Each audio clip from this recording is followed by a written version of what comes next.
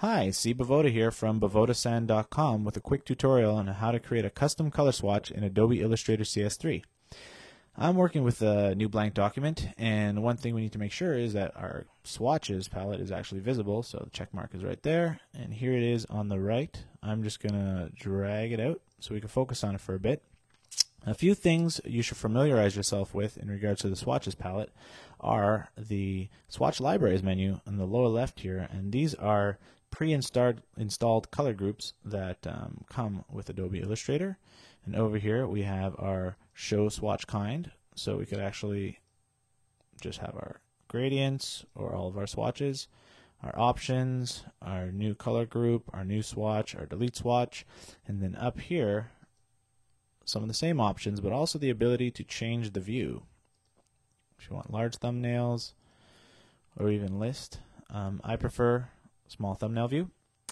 And over here we have some folders, and these are actual color groups. So we're going to create a new color group.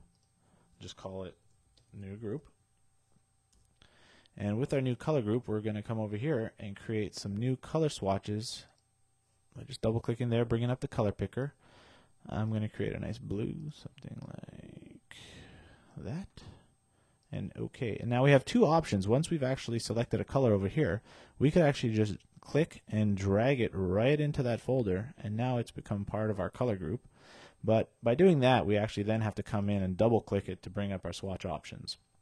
So the way I prefer to do it, I'm just going to actually drag that over here, is with the actual folder selected, and the color selected over here, just click on new swatch and right away it brings up our options.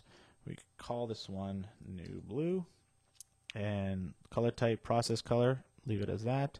Doesn't need to be global, RGB is fine, and OK, and there it is right there. Quick and easy way to create a custom color swatch in Adobe Illustrator CS3.